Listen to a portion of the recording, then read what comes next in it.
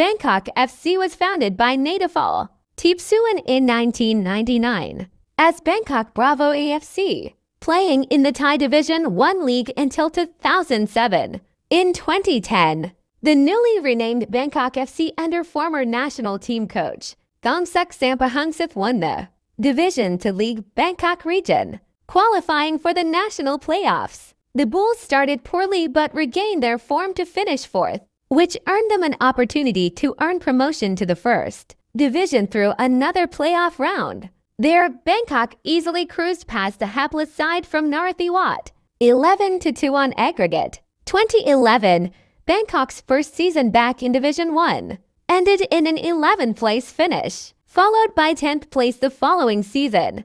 Disappointed with such performances, Thongsuk resigned and was succeeded by Kiatisuk Senamuang, who led Bangkok two fourth in 2013. Kiatisuk would eventually go on to lead a golden generation of the Thai national team. In 2022, Bangkok competed in the Thai League 3 Bangkok region, their 16th season in Thai professional football. They became runners-up of their region, advancing to the national playoffs. In addition, they suffered to first-round eliminations in cup competitions 4-5 on penalties by Wat Bot City in the 2-0 to 2-3, Thai FA Cup and 1-4 to the Lamphun Warriors. In the 2-0 to 2-3, Thai League Cup.